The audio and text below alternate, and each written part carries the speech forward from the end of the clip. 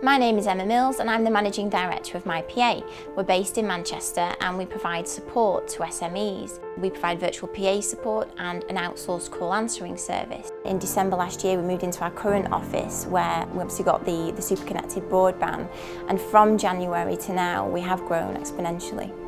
The key factors behind the success of MyPA have been one, hiring the right people and having the right team, two, providing fantastic customer service, and three, our business wouldn't exist without the internet, so it's been crucial for us to have a super fast, reliable connection.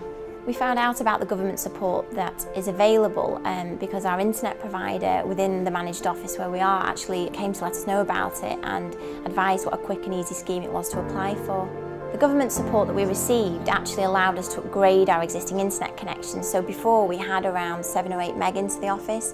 When we used the voucher, it upgraded us to 100 meg download, which is constant. So not only has it made things quicker, um, it's allowed us to actually employ more staff within the same space because of the capacity it gives us. All of our phones and PCs are internet based. So having the super fast broadband in our office has meant that I can scale the team and they can do what they need to do quickly and efficiently. The broadband vouchers that we received were actually to the value of £3,000, so that covered the installation. From start to finish, the whole process of getting the super fast broadband was very easy and everybody we dealt with made the process very simple.